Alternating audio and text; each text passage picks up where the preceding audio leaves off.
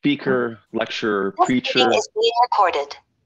and workshop facilitator, and scholar. Her two books on the events in Ferguson from the perspective of activism, Ferguson and Faith and Faith After Ferguson, were featured in documentaries, uh, including uh, a PBS documentary released in 2017. She is uh, currently the Senior Vice President, Chief Mission and Values Officer at IU Health here in Indianapolis. And previous to that, she was Vice President of Academic Affairs and Dean at Christian Theological Seminary. Her prophetic voice and pastoral leadership has been heard and seen all over the country, I think all over the world, and including my own congregation, Central Christian Church here in Indianapolis. So I am greatly anticipating what she has to present to us this evening.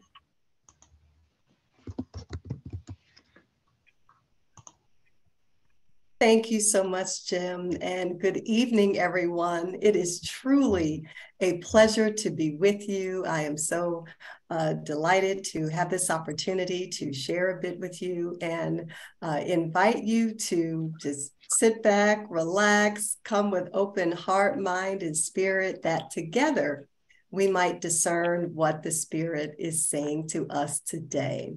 So, my very dear friend, uh, Della Stanley Green, has helped to make this possible and want to give a very special shout out to her and show great appreciation. Della has been keeping me in line a long time now. And so just her friendship and support has always meant so much. And I'm so thankful uh, for her making this connection with us tonight. One of the things that Della taught me and many people at CTS was about the practice of silence mm. and how, when we truly quiet our minds, our feelings, our senses, just to be still. That God very well may speak to us and often will speak to us anew. And one time, Della came to one of the classes I was teaching. And first, let me say, back in the days when I was the dean, you know, they didn't, I didn't get to teach that much because the dean's office was wild. And so I was always just doing a bunch of stuff. Um, but every once in a while, I would get back to my love of teaching and be in the classroom with our fantastic students. And Della came and gave a presentation one time to one of our to one of my classes and introduced us. It was on reflection and vocation. The class was on vocation. And she introduced us to the practice of silence, of sitting in silence as an act of um, not only reverence, but also discernment. And it made a difference. It was just stunning how it truly made a difference. Students felt it. Um, we all experienced it collectively. And I, I have never, ever, ever forgotten that. And so, one of the things that uh, has meant so much is being able to integrate that in many things that I do. Uh, I can't always do it when I'm giving public presentations, but I just felt in this particular context that it would be appropriate to do so. And here's how I'd like to approach it this evening. I just want to take a couple of moments and first read a scripture and then have just two minutes of silence and then there is a picture I'd like for you to take a look at. It's a still photo and reflect on that. And then I'd like for us to have a little bit of conversation about it as we move into the rest of our content this evening.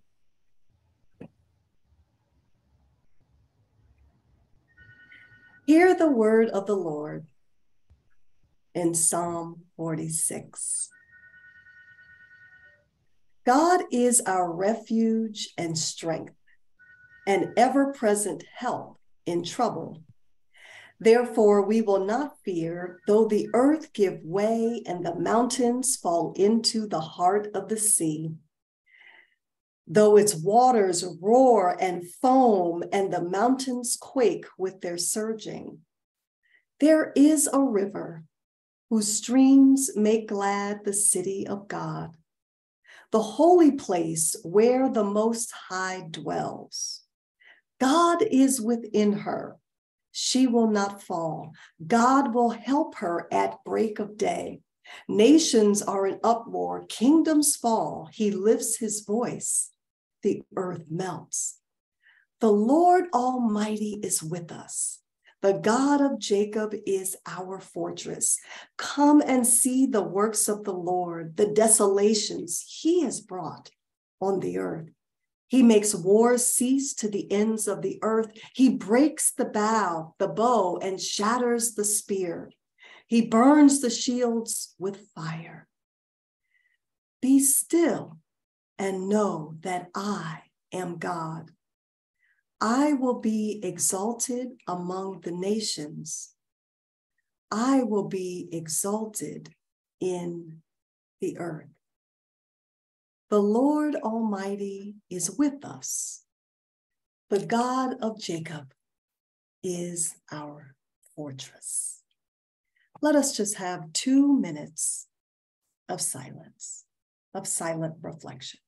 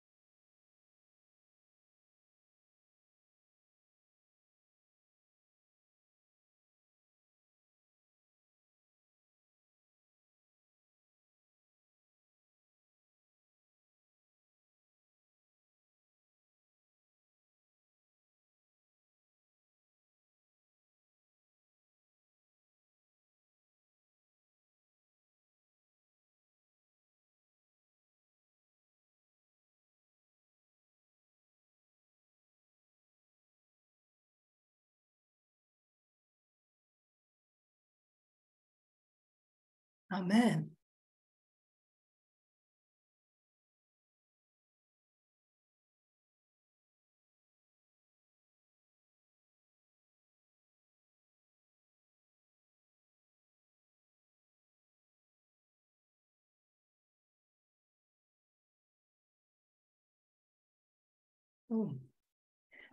Just one moment as I get the photo up on the screen for us.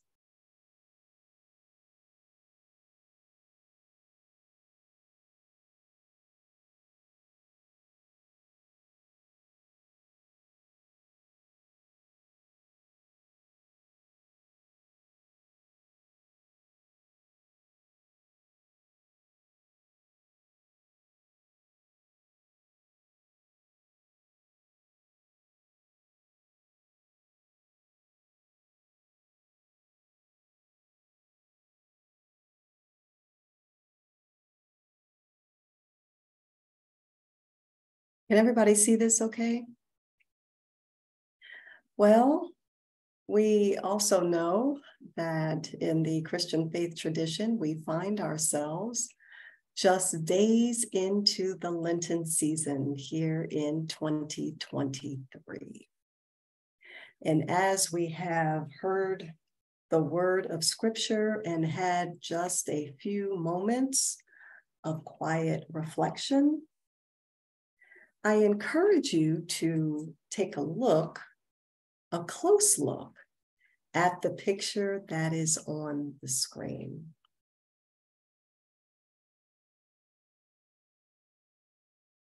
I invite you to think about not only what you see, but what do these things mean? What do they represent?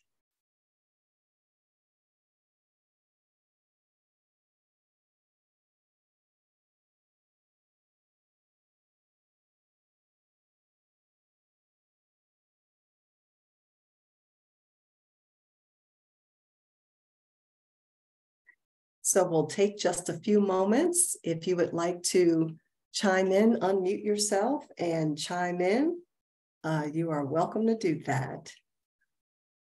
Note what you see, but also what does this mean to you?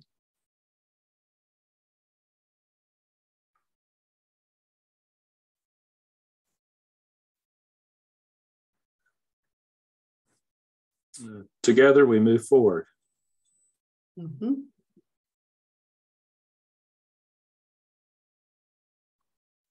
Good. Anybody else?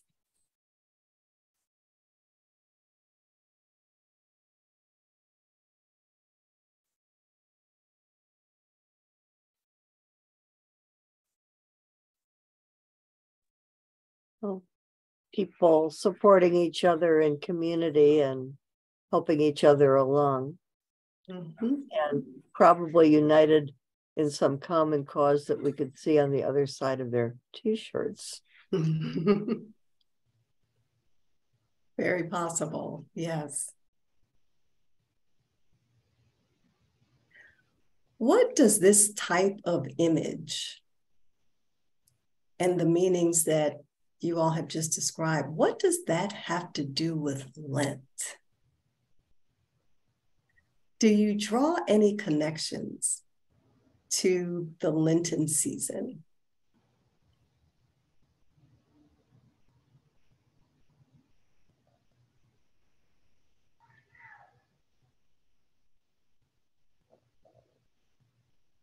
Well, I'll respond. Uh, Quakers aren't necessarily that into the church calendar as hmm. uh, many traditions. Mm-hmm. Um, Lent in Worship and Wonder, which is a, uh, a children's program similar to one, I can't remember what it's called, with the Quakers, is seen as a journey mm. towards the cross and resurrection. And so I sense the importance of community in that difficult journey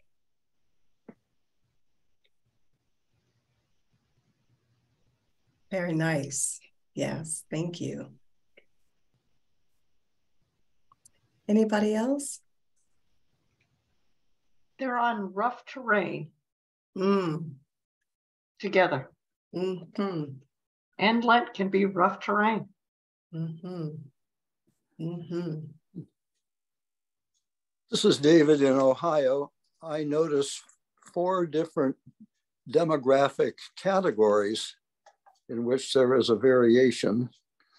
We have black and white, we have old and young, we have people of different physical abilities, uh, and we have male and female, which immediately puts me in mind of Paul's declaration, which is the basis of much of my social ethic that in Christ there's neither slave nor free, male or female and on down the line, and we can add more such mm-hmm. di- apparent differences, but that we are one in the spirit of the living Christ. Yeah, absolutely.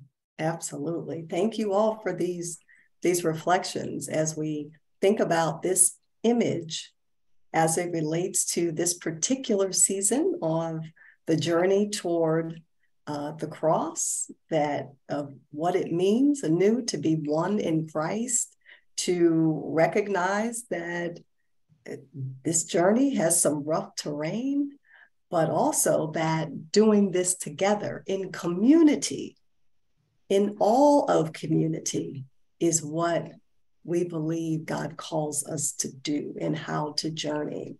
And so it is in that spirit that I want to talk about Ferguson at the intersection of faith and justice. Ferguson at the intersection of faith and justice. Many of you may know that um, when the unfortunate time in 2014 when Michael Brown, an unarmed teenager, was killed by a Ferguson police officer. Uh, I was living in St. Louis with my husband and our two sons.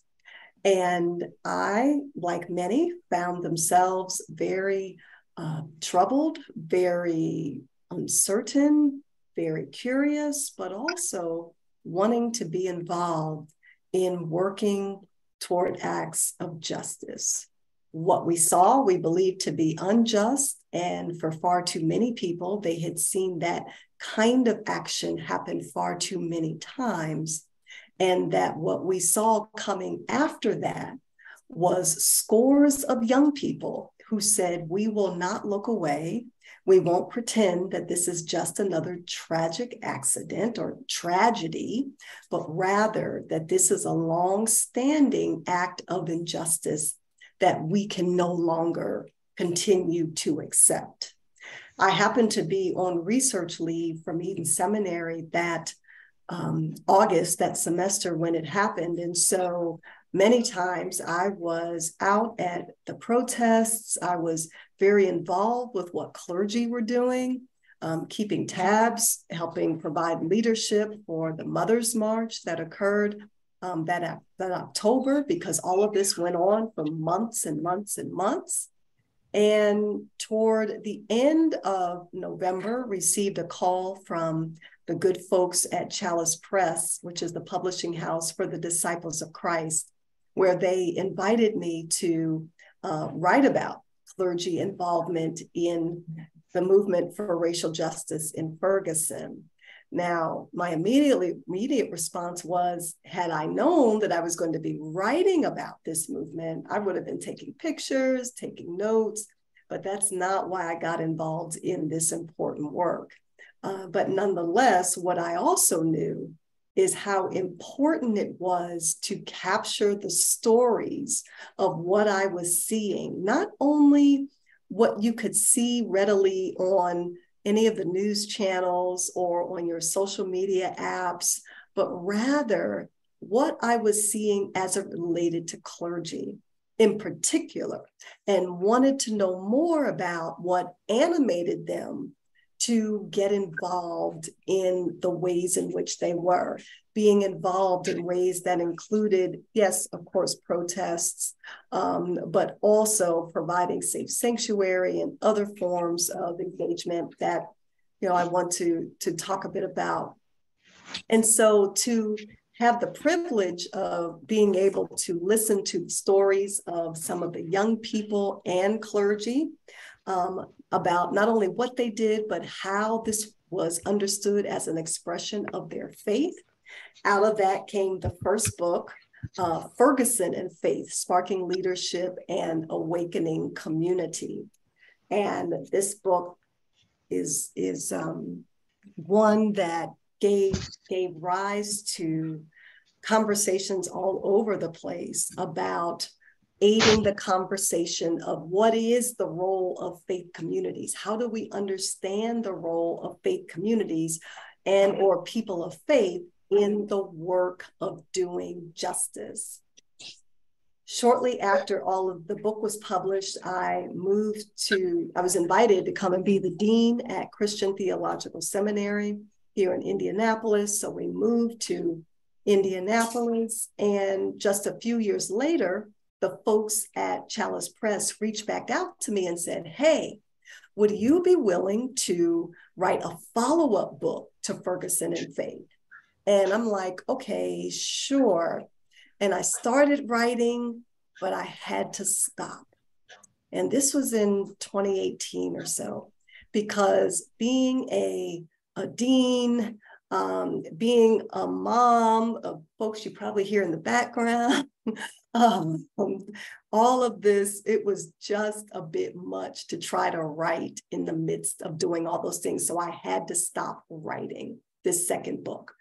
I had already gone back and started interviewing people from St. Louis to find out what's happened since then, but I just wasn't sure it was going to be able to happen. But then I decided in the fall of 2019, I felt the spirit leading actually. You know, it's time to pick this writing back up. And so I did just that. I said, let's just find a way to figure out how to continue this work of finding out what's happened since Ferguson and how we can um, continue the work of writing the book. And then 2020 became the apocalyptic gift that it was with the emergence of a virus, the coronavirus, with the ongoing public incidences of Black people being killed by law enforcement. We witnessed George Taylor, uh, excuse me, George Floyd being um, suffocated to death pretty much. We heard about Breonna Taylor in Kentucky, who was a young woman in her apartment.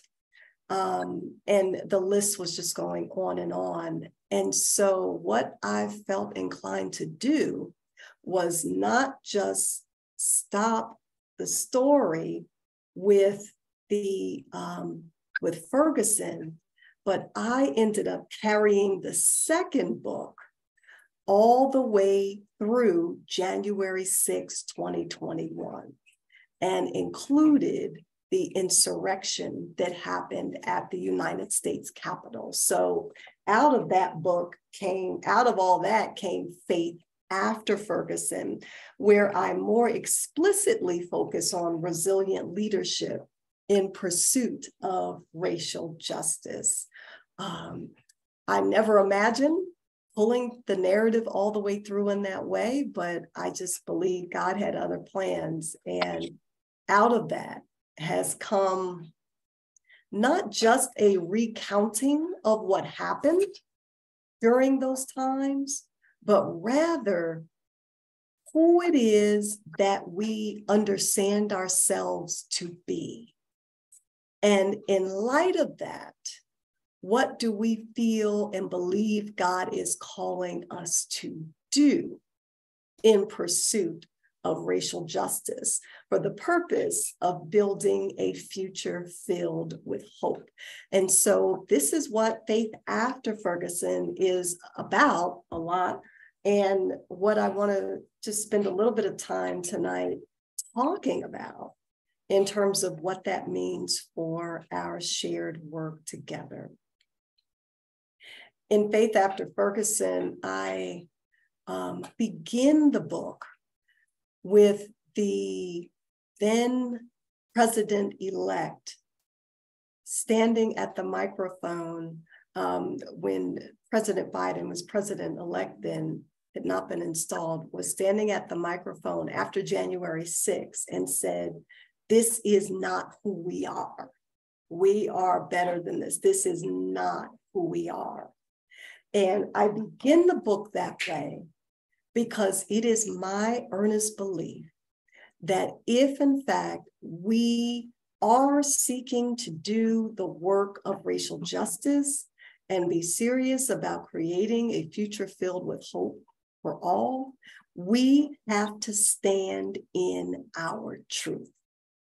And the truth is, what we saw happening on January 6th was a reflection of who we are as a nation, as a country, who and where we are at this particular time in our shared life in history.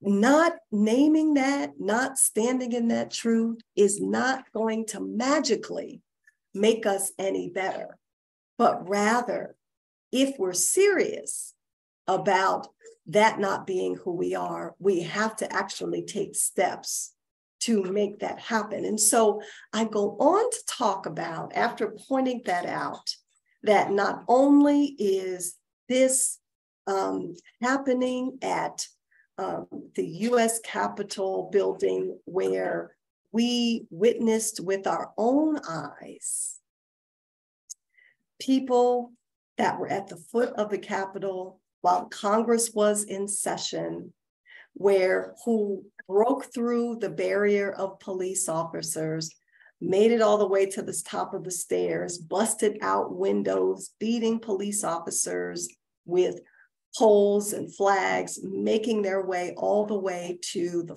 the House floor, stealing classified equipment and documents.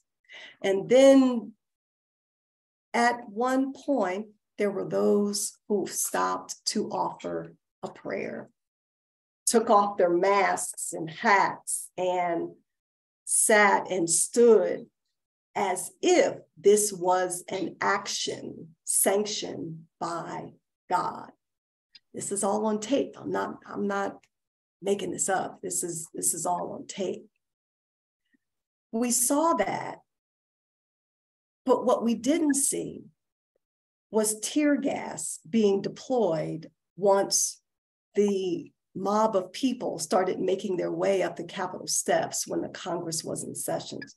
We didn't see rubber bullets being shot. We didn't see um, uh, the National Guard blocking the way so that people could not get, we didn't see any of that.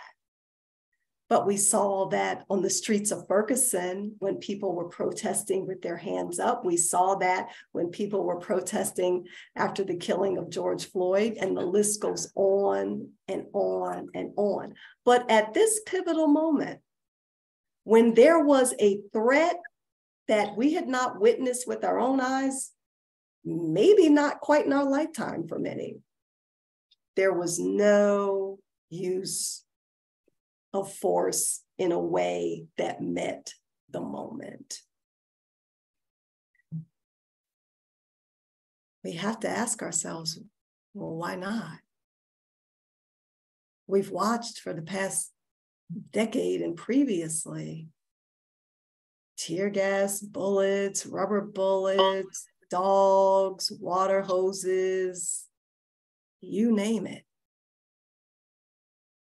But at that moment, nothing.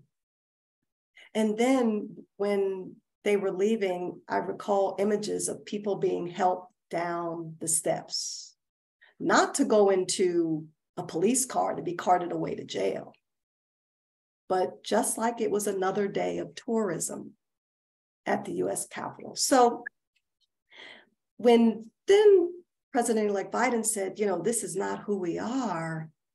We're better than this. This moment calls us to stand in our truth and say, no, this is who we are. It wasn't lost on me that January 6th happened on Epiphany. You may well recall that day where the baby Jesus had been born and the Magi were going to visit Jesus. And Herod had another idea for what he wanted from them and told them, Oh, go find him so I can go and worship him too. But their intel helped them to know that that wasn't exactly what he wanted. And so after the Magi went and found Jesus, they had to decide to go back another way to their home country. They could not go back the same way if, unless they knew they would run into Herod's posse, then it would not go well for them. So they had to figure out another way to get home. I think that applies to us so well after January 6th, because that watershed moment in this country's history, shone a bright light on the state of so much of what is happening in our country today. And if, in fact, we are looking to go back from that moment to go home, we have been tasked, if we're going the way of justice and mercy and love, to go back another way, not to go back doing the same kinds of things that was on display there and the implied, the implications that came about as a result of that, but rather to go back another way. And so my response to President Biden was yes, this is who we are. We're being called to stand in our truth about this and respond to God's call to go back home another way. Go back home to the work of building beloved community for the sake of us all. Go back to being the kind of community that does justice, loves mercy, and walks humbly with God. But to do that and achieve that, we can't go back the same way that we came in. Okay.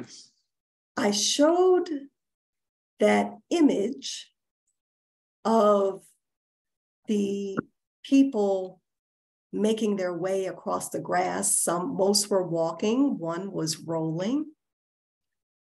As an image for us to hold in our hearts and minds about what it might mean for us collectively, for the sake of us all, to go back another way. Now, I don't mean that as though everywhere we'll go, we'll always be able to have a group of people kind of traveling along with us in that way, a group of diverse people.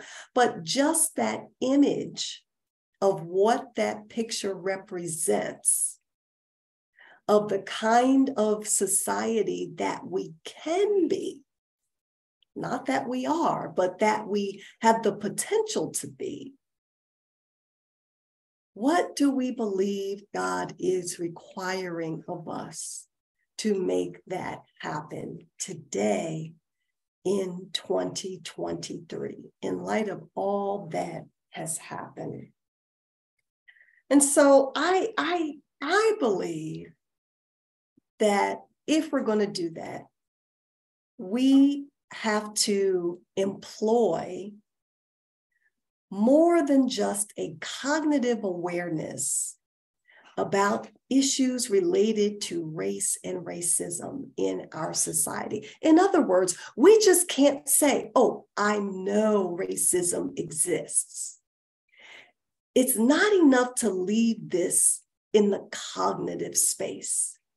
If we're going to take seriously about the ways that racism exists in our world, we have to employ all of our senses in that work our sense of sight, hearing, taste, touch, and smell.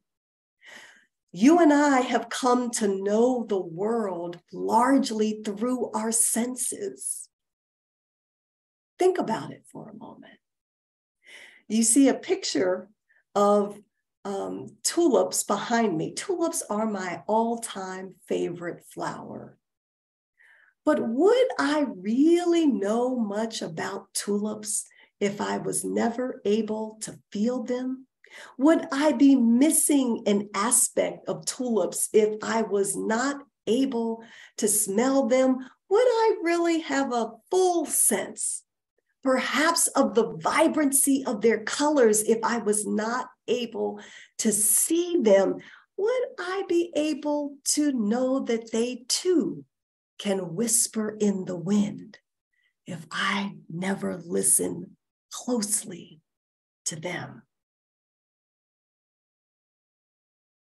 I didn't come to know and love tulips only because I knew that they were a flower. I came to know and love tulips by engaging all of my senses in seeking to learn and understand the essence of what they are. But what does this have to do with racial justice? How do I see it? How do I hear it? How do I taste it? How do I smell it? How do I touch it? Let's start with sight. I ask you this question What do you see when you see a Black person? What do you see? Do you see a human being? Do you see a child of God? Do you see someone that is human in the same ways that you understand yourself to be human. One of the things that added to the tragedy of when Michael Brown was killed in Ferguson, Missouri, was when the officer went and gave testimony of his account of what happened on that fateful day. Now, mind you, the testimony didn't come immediately after the, the, event, which is when I think any testimony ought to be given, but it came a month or so afterward. And during this time, the officer who was about the same height as Michael Brown, the unarmed teenager, the officer who had his gun, he said I felt like a five year old boy holding on to Hulk Hogan with demon eyes. Listen to that for a moment. I felt like a five year old boy holding on to Hulk Hogan with demon eyes. What did the grand jury hear what did they see when they heard that testimony? Did they see a teenager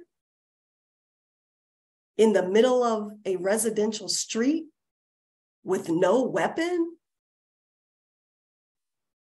Or did they see and imagine Hulk Hogan with demon eyes?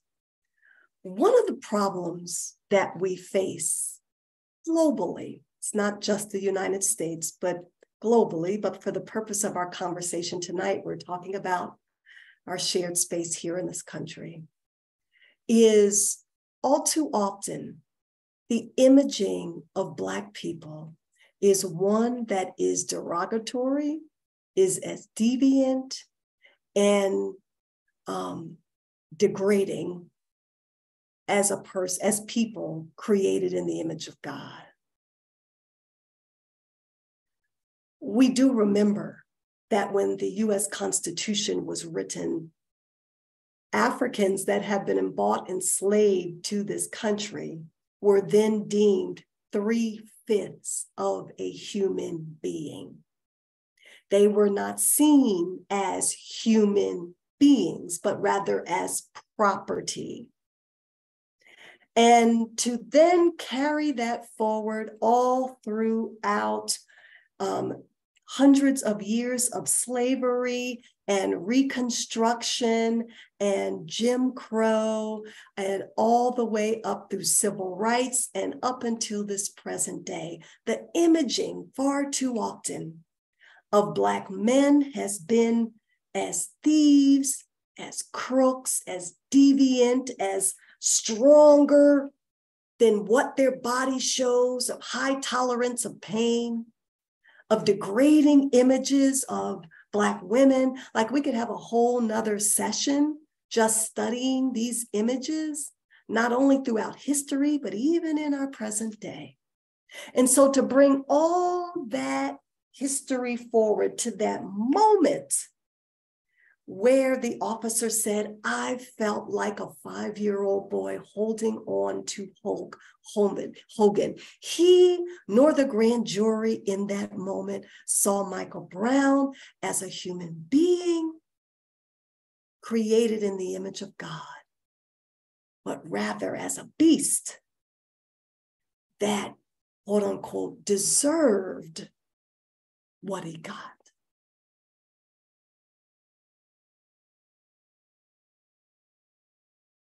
I ask the question What do you see when you see a Black person? Next, hearing.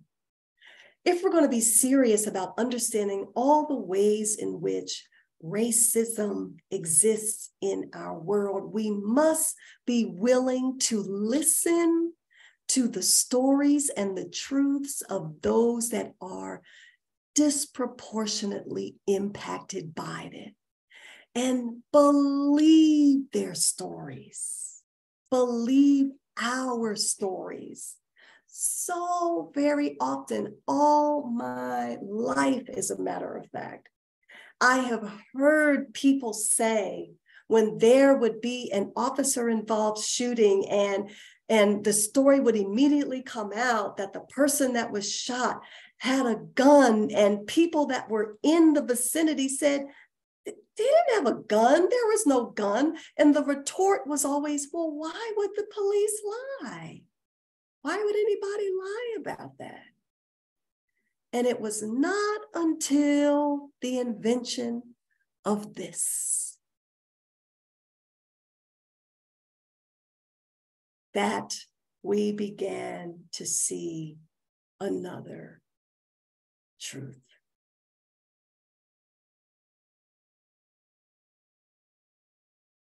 My hunch is that if it were not for this, you and I probably wouldn't be having this conversation right now. Because the narrative would still be, well, why would why would they lie? If that young, can you believe it was a young teenage girl who stood and videotaped George Floyd's last moments on earth? A young girl. What might the story be if we never saw that video? We've got to be willing to hear, listen to, and believe the stories.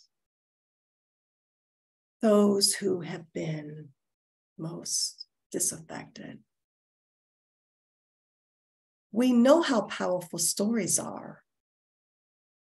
So powerful, such that there's a movement afoot across this country to ban books, any teaching about the historical facts and truth, truths about slavery, about Reconstruction, about Jim Crow, about the civil rights movement. They're banning books on Rosa Parks.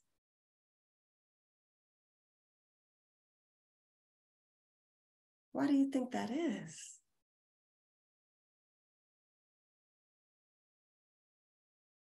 If you can stop the telling of stories, to stop the believing of these truths, then you stop any movements, both now and into the future when each of us on this call are long gone. Stop the belief and believing that any of this ever even happened. Third, we have to be willing to taste the bitter dregs of discomfort. Oh, one of the things that came out of the Ferguson movement was um, a lot of churches started having sacred conversations on race. There is a fantastic organization in St. Louis, Metropolitan Churches United, that is a, a not for profit that works with congregations in myriad ways, but after Ferguson started doing work as it related to the work of, of, of, of racial justice and um, attending to the ways that racism shows up in our world today. And so many congregations started having these mediated sacred conversations on race. The guidelines for these conversations included number one, we need you to stay in the room.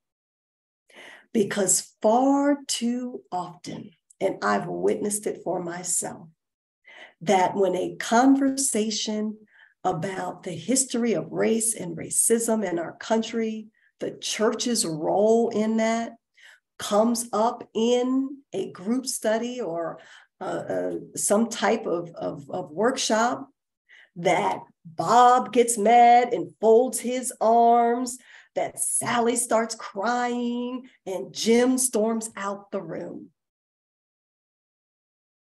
Friends, that's not tasting the bitter dregs of discomfort. Seeking to dismantle racism and build a world, world that's just and equitable is not your feel good, fuzzy work. Standing in the truth that this requires for this work does not leave one feeling, oh, this is so nice. We should have done this sooner.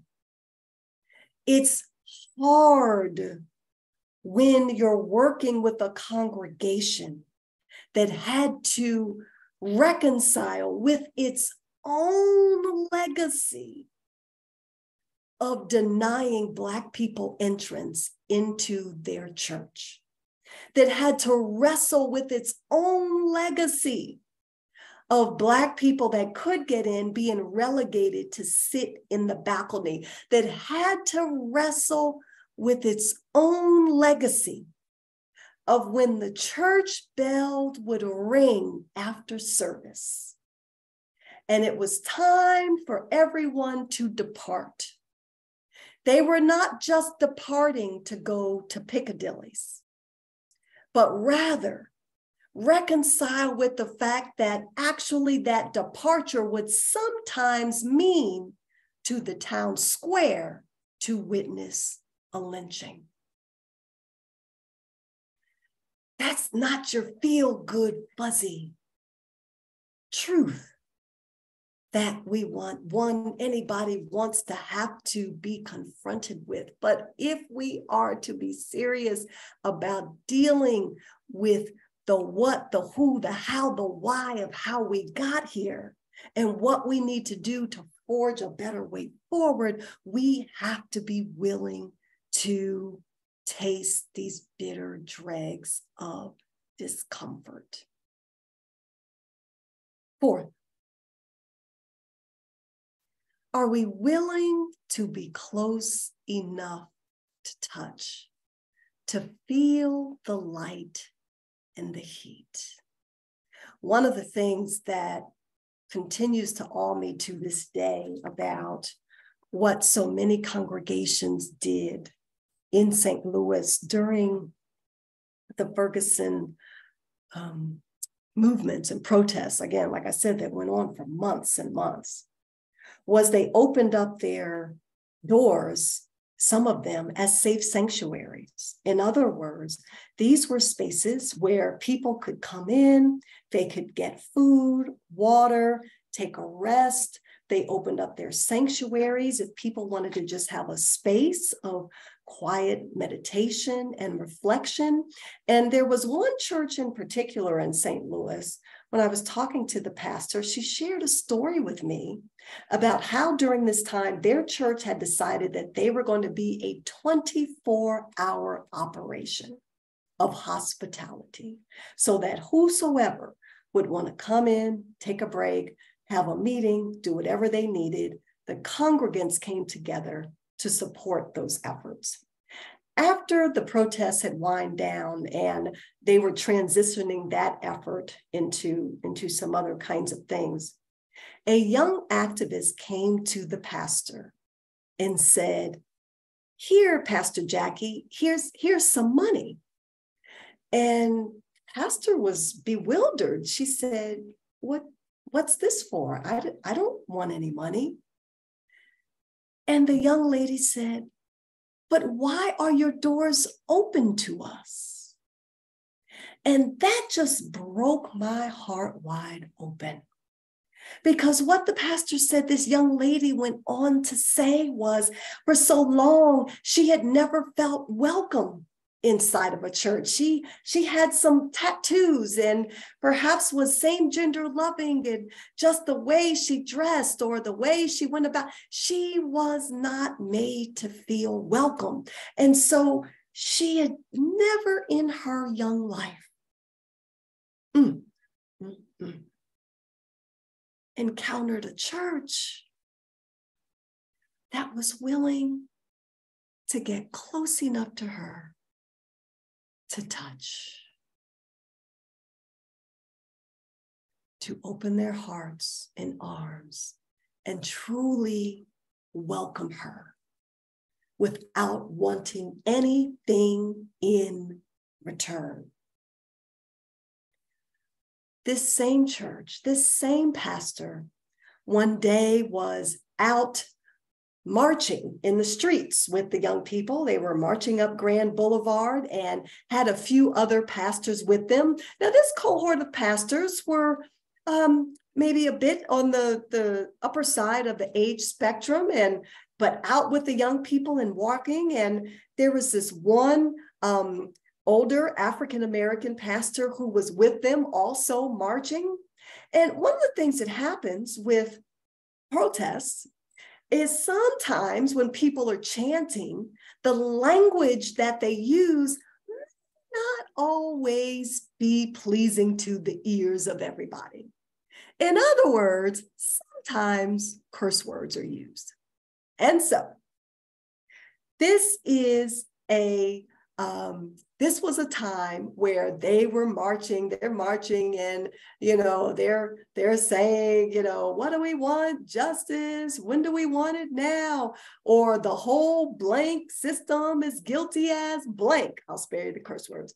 Um, you know they're marching and saying these things. Nobody's violent. Nobody's inciting violence. They're just that's their march. That's their their bantering.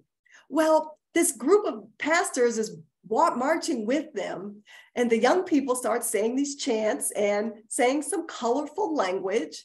And the older Black pastor said to them, language, language. But then in that same breath, he turned to the pastor of the church and said, But the young people have done it. They're the ones that are leading the way. So, in other words, he wasn't pointing the finger saying, you young people, stop that bad language kind of thing, but rather in a more grandfatherly kind of way, like, oh, language. But he's out there close enough to touch and marching with them.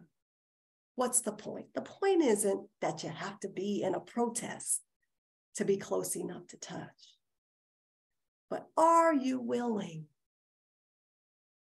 to get close enough to where hurt happens most among people who have been hurt the most, close enough to touch. Finally, if we're going to be serious about building a future filled with hope, we have to move beyond the cognitive stance and employ all of our, our senses sight, hearing, taste, touch, and also smell.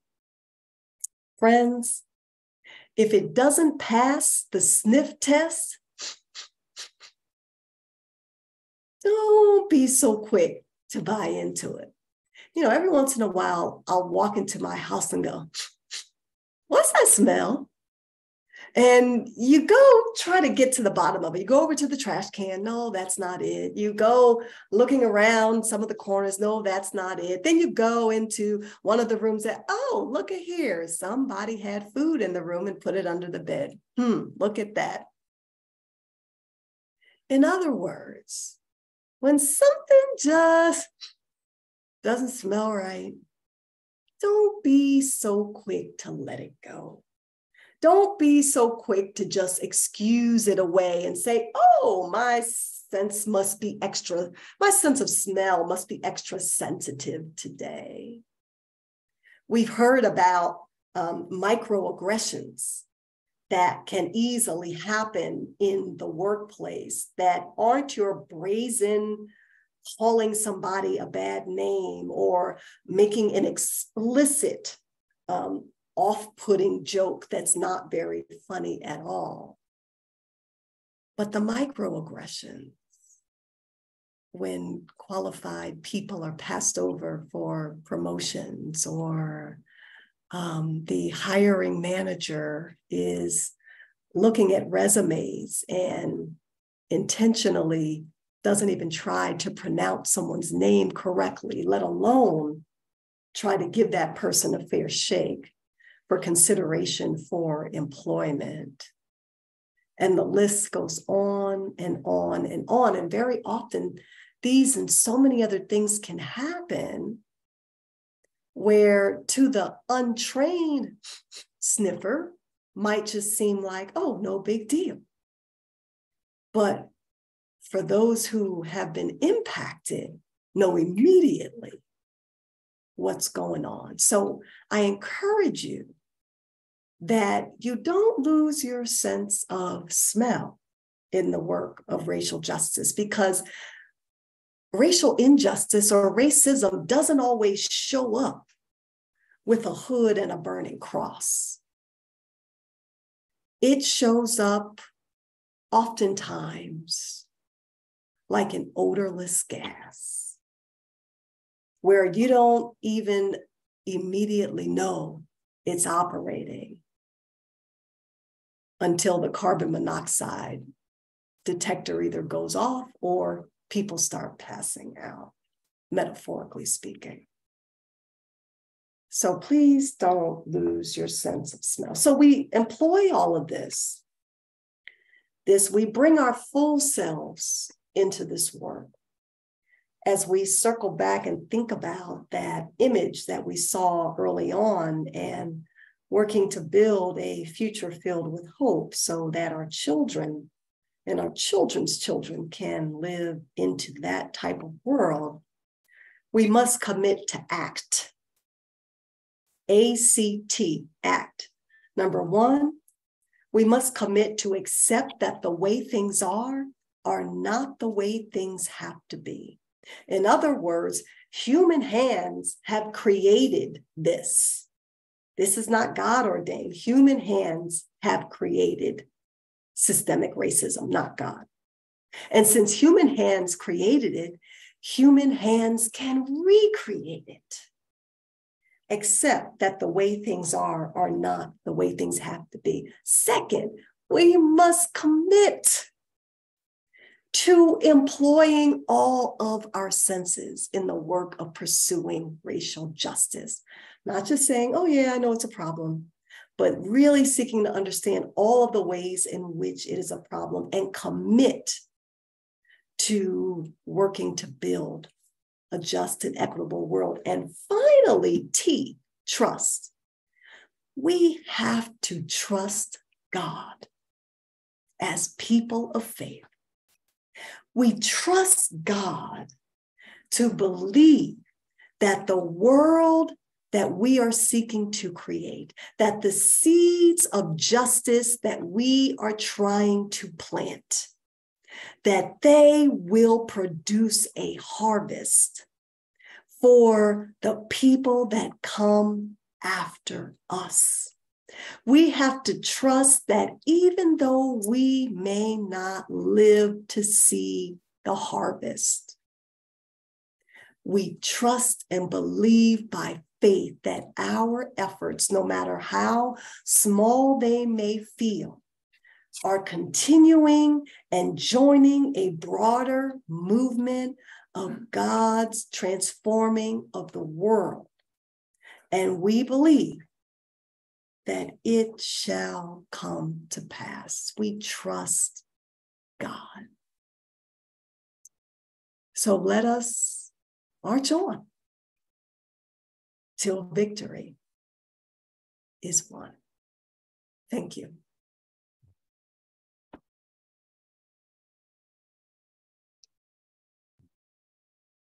Thank you so much, Leah, for this challenging, evocative message. I'd like us to just pause for a minute, absorb it, and let people collect their thoughts for questions. And if you can, please uh, use the raise hand function so we can more easily spot you. But let's pause for a moment to hear it again.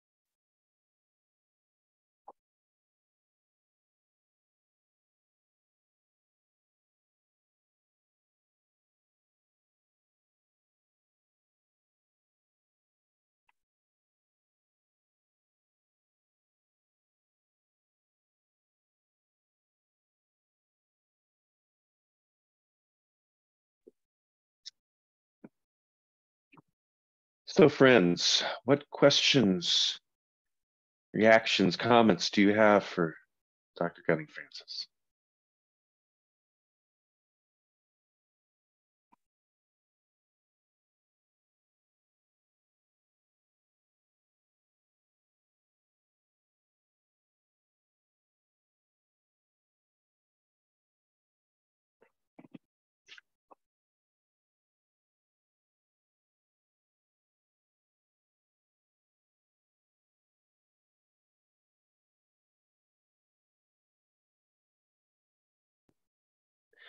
Well, I'll take the I'll take the advantage of having a moment. I'm I'm I'm so profoundly moved by your full embodied message that we have to be there with our whole selves. And having just taught a class on trauma and the including how racial trauma is generational for people of color and impacts whites and other privileged persons. That trauma must be addressed in a full bodied way because it is in our blood, in our, in our very DNA, in essence.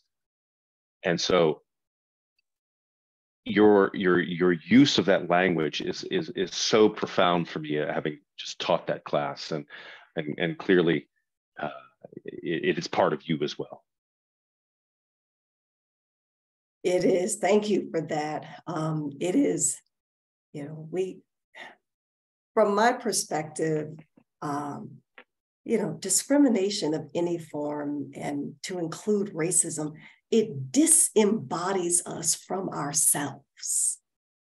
And if we are to live as the whole people of God, as full people, that we, you know, and, and definitely in talking about trauma, as, as you have, you know, we have to understand the ways in which it it it it is down to the cellular level in so many ways. And to work through that and through the healing process, we have to bring bring our full selves to bear in that. And so the work of healing, the work of building, the work of community is embodied work, not the disembodiedness of dehumanization, but the coming together of that is fully human. So thank you for that. Juliana. Thank you. Um, yes, thank you so much for the talk. I was really struck by your use of we language. And in a time when we are so polarized, it stands out because it would be really easy to say those people of January 6th, those people, and how you talked about our legacy, like those historical people. Um, how do you think about challenging people? It seems that was really intentional, and you can correct me if I'm wrong. How do you think about challenging people to lean into we being we and not an us and them. Yeah, thank you for that. That is that is so important and very intentional. I mean, the first chapter of um, Faith After Ferguson is titled "This Is Us," and I start with that simply to to point out that you know this us them really is an artificial barrier.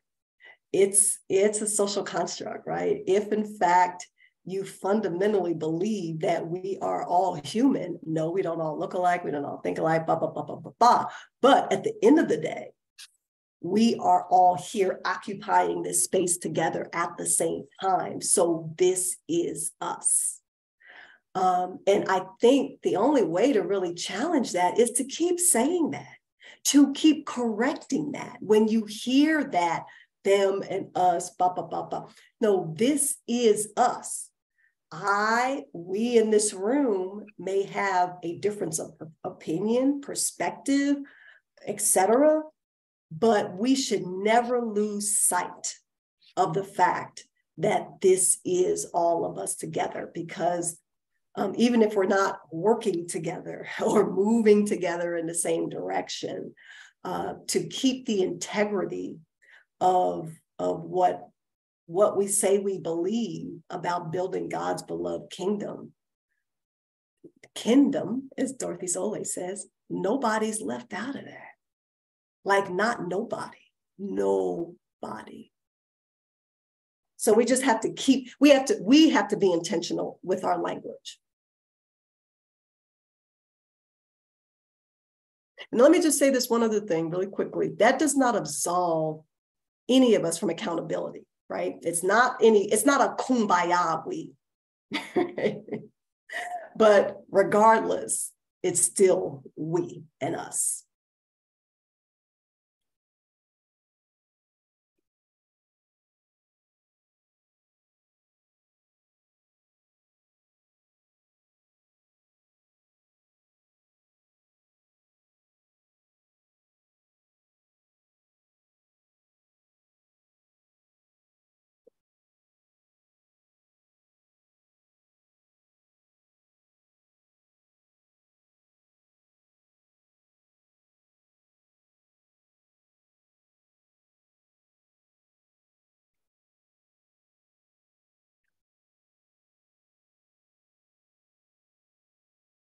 Others have, yes, Jim, I see your hand.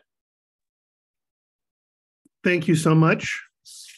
Um, I'm really moved by um, those, well, many parts of your presentation, but the ones I want to highlight are the um, accompaniment in the marches by clergy and the radical hospitality, um, even to the point where people who had never felt comfortable in a church felt welcome.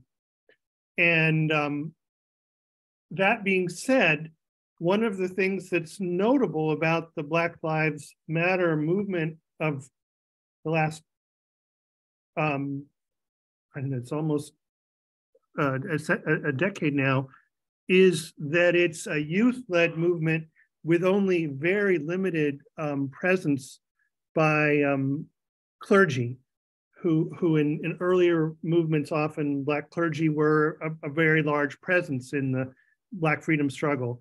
And I'm wondering if you could reflect on um, you could reflect on that um, presence in Ferguson and absence in other places, and and not just black clergy, but but but um, people of faith in um, the what are sometimes called the leaderless youth-led um, protest movements of the last decade, including Black Lives Matter. Mm-hmm.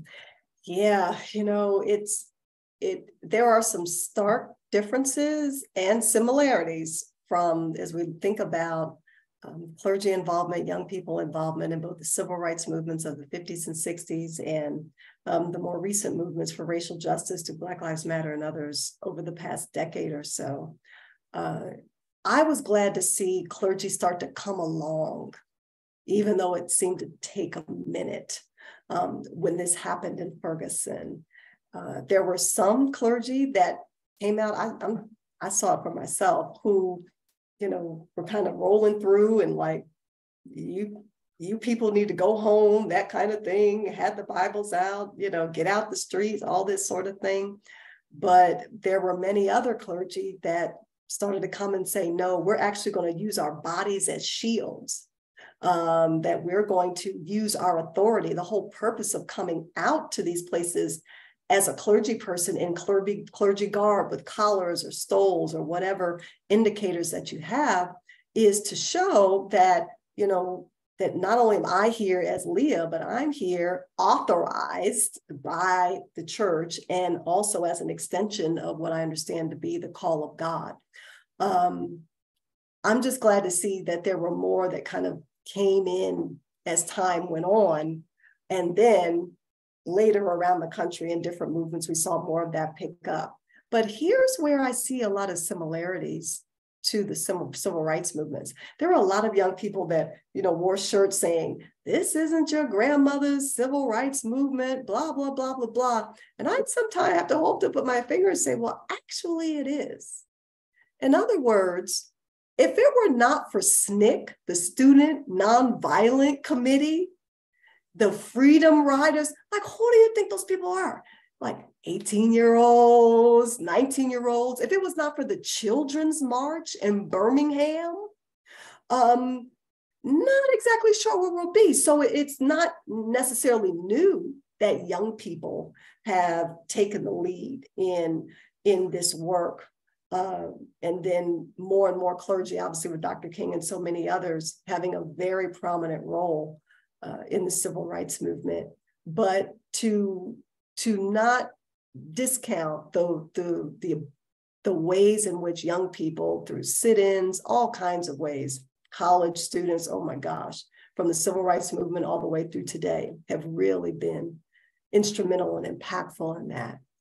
But my hope and prayer is, uh, Jim, that we're at a point where it's it's not taking clergy as long to respond now, right? Um, and why is it do we feel like we don't need to engage? Are we still buying into, oh, this isn't the work of the church? I don't have anything to do with this. This isn't my community, etc. Um, but how do we really fold this into uh, our lives of faith as as as leaders in the church?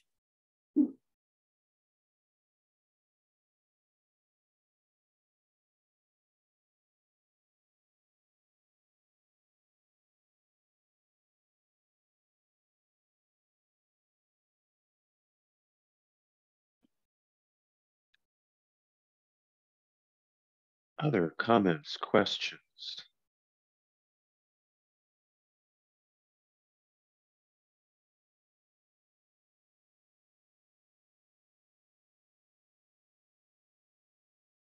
Well, I'll ask one more. So much of what you do, described was, oh, I will stop. Helene, go ahead.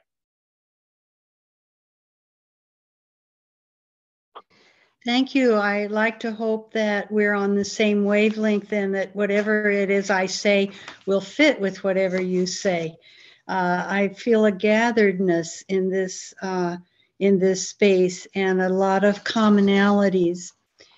Um, I wonder uh, what is our view of God um, in that we have underneath uh, these observations and what leads us to to the call to follow God or to allow ourselves to be led. Um, sometimes uh, we don't open ourselves to a new vision of God that may be calling to us. Uh, I feel something very new.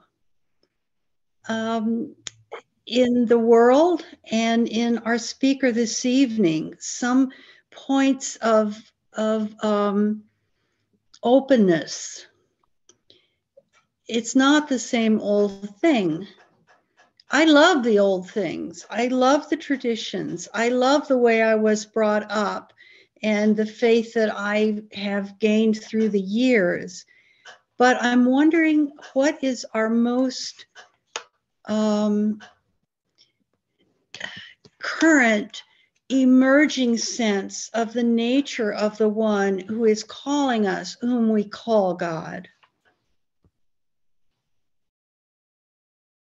That's a profound question, Helene, that I think is definitely worthy of, of some uh, group reflection and engagement about because it is that very image and understanding in real time that often determines how we live out our faith in the world today, right? Like you say, we have our historical formation and things that we've maybe understood or to be about God, but what does that mean today? Like that would be a very profound question to wrestle with. And out of that wrestling, where does that lead us in today's world? I'll add to that that um, I have felt that Black, uh, the Black church, Black Christians within all of Christianity are taking the lead now in saying no to some outmoded views of God and of Christ. And um, the idea of suffering being necessary um, or accepted as Jesus on the cross, and we're on the cross with him, and it's somehow ordained by God, and, and we just have to take it for granted. I hear people saying, No, this is not my Jesus, this is not my God. Mm-hmm. And I'm saying, No, I'm saying that we matter.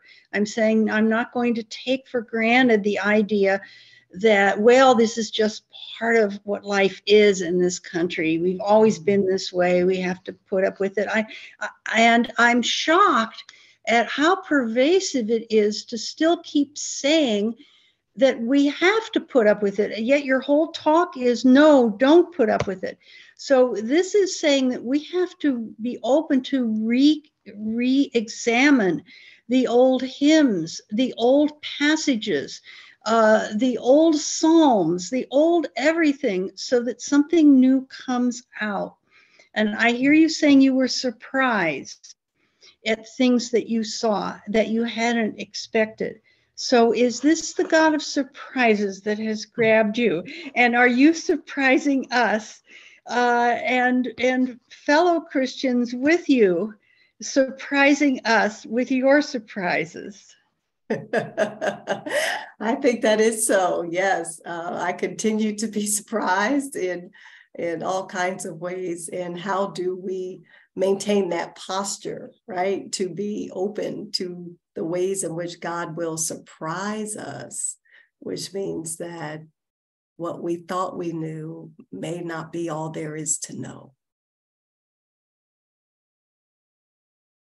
I love it. Thank you.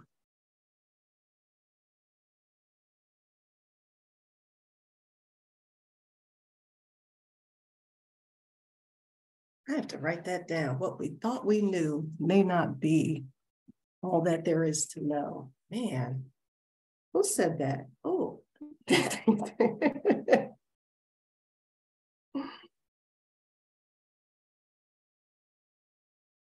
yes, April.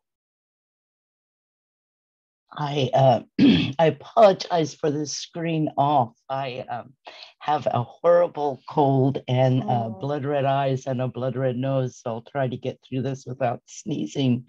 Um, but the last comments, I believe, was Helene and Dr. Gunning Francis made. I am so hopeful um, because what I was struck by in the beginning of the presentation was the comment that the clergy came alongside. Mm. And I think that for those of us who might be a little older, we need to learn to come alongside and listen to the God that is being revealed to us. Um, and there, I've been in a lot of situations where we think we have so much wisdom to give that we take over and um, squelch that of God that is arising. So I your choice of words I found was quite telling, not that the clergy came out to lead, but came out to be alongside and came out to open the doors for hospitality. Thank you for that. That was a critical piece um, in this movement as it relates to the church. I'm not saying that the movement wouldn't have continued without the clergy, but that was so critical because, you know, for the reasons we'd already stated about people not feeling welcome, but also for clergy to embody the practice of humility, right? And to do that on full display for others to see in a sincere and very meaningful way. Many would often come and apologize and say, you know, no, we haven't been here for you. We haven't stood up long before Michael Brown was killed or so many others. Like it, there have been enough things to happen that clergy could have been doing a lot more before that. And so to come with that, come alongside with that spirit of humility and apology and seeking to genuinely reconcile um, was just so, so powerful to me.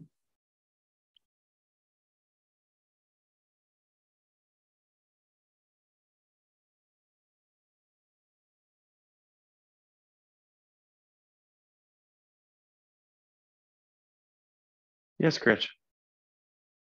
Yes, thank you so much, Dr. Gunning Francis. Really, really appreciate all that you've shared with us last um, fall, maybe it was, we had a spirituality conference, and one of our uh, teaching faculty, Michael Birkel, uh, gave a talk about um, spiritual hospitality.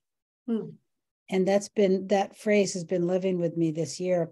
He talked about in hospitality, uh, you have the surprise and the beauty of learning from each other. So, whether you're the guest or the host, you're learning from each other, and um, and that's the great joy of of hospitality generally. And so, I, I love that idea of not only opening a a door to a building, but really opening one's heart to learning about each other. Can you speak to that in your story of hospitality? Yeah, I, I think that that deeply resonates with me because even though it shows up in the physical act of you know opening a door or giving food that kind of thing but it's so much more than that you know it really is an openness of spirit an openness of posture and disposition um, an openness of, of heart to um, genuinely not only receive, but to hopefully be received by the other, right? Because it's a mutual, it, there's mutuality in that. Anytime genuine hospitality occurs, even if I'm the one kind of quote unquote hosting whatever's going on, if there's not, you know, if it's not done in the kind of way that makes space for genuine, you know, sort of give and receive of the other and each other, um, that that is just the powerful kind of spiritual hospitality that exists. Hospitality is never um, one dimensional or you know moving in just one direction. It's always bi-directional if it's truly you know, that kind of spiritual hospitality I think you're talking about. And that, I believe, is where transformation can happen.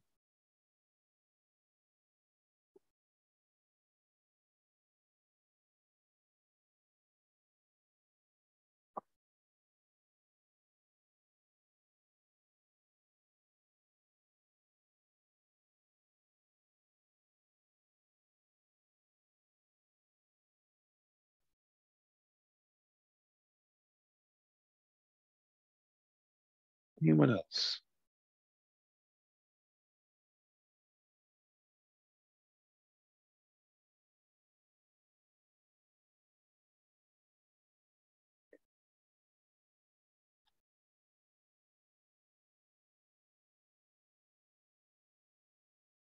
Well, thank you again for educating us about spiritual practices we need for this Lenten season of activism and hospitality and accompaniment and inspiring us with stories and vision and images.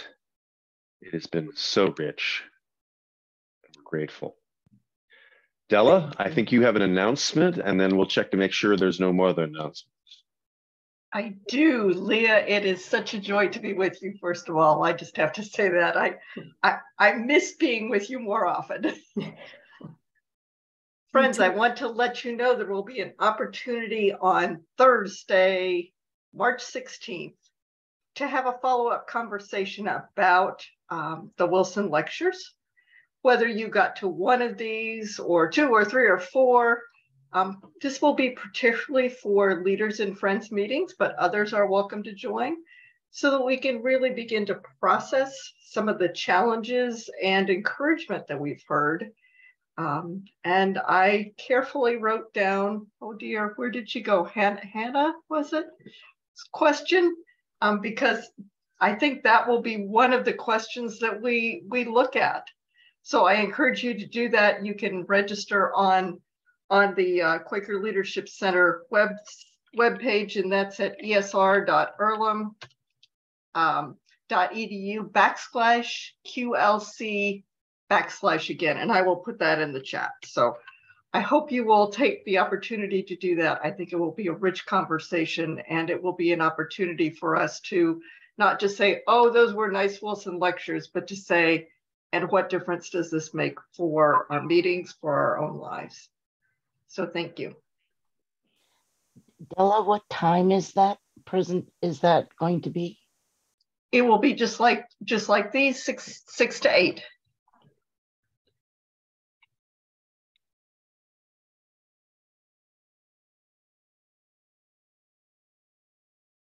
Brown, are there any other announcements or matters for us?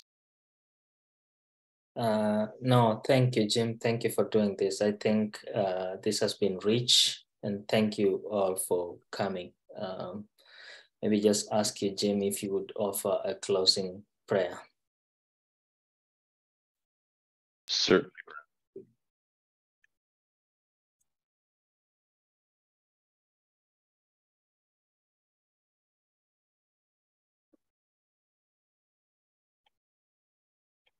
Holy God, in our journey, our journey towards the cross, our journey towards justice, the difficult journey of accompanying suffering and hope. We know that you are the ever present help who accompanies us, and we are grateful. Help us to stand in our truth with our whole selves. Help us to be able to discern what you require of us to create, to co create the world that you envision for us.